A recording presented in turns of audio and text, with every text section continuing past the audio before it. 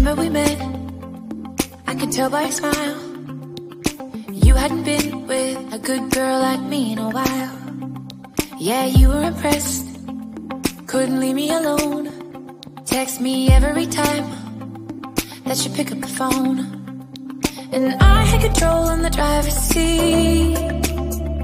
But my hands are slipping off the wheel. Now the tables have turned. Pessoal, cheguei em casa aqui, pessoal, comecei a tirar aqui o espradapa, né? Porque o médico me pediu que assim que eu chegasse aqui, galera, para me tirar, para me voltar a usar, né, o Viadex, que esse, esse colírio aqui, galera, não é para dor, não é para nada, esse aqui é para não deixar dar infecção no olho, né? Graças a Deus, galera, a, a mini cirurgia, né, que foi uma correção de cirurgia, só para a galera ficar sabendo, para correção de cirurgia, não foi bem uma cirurgia completa, graças a Deus. Só foi uns quatro pontos que dizer que tinha soltado, né? E não precisou daquela anestesia profunda, não precisou, o, graças a Deus não está dormente, né? Ele pediu para me proteger só e quando eu chego aí mesmo da viagem do carro aí, por causa do vento.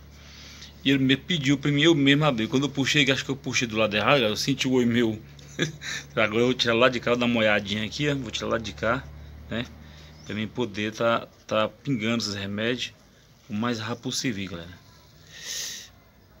Então, mas é isso aí, galera. Até o próximo vídeo aí. Esse mês só foi para avisar para você que eu tô tudo em paz, né? Na live, dia domingo, às 17 horas. Eu vou estar tá falando para vocês como é que ficou aí. Mas eu tenho certeza que tá tudo belezinha, eu tô enxergando. Que na hora que tava fazendo o curativo, eu tava vendo tudo, galera. Dessa vez foi mais bonito um pouquinho, porque eu cheguei a ver a agulha entrando do oi, saindo e costurando. Então, mais ó, um abraço e vamos tocando o barco aí, galera, se Deus quiser. Então, tchau, fica com Deus.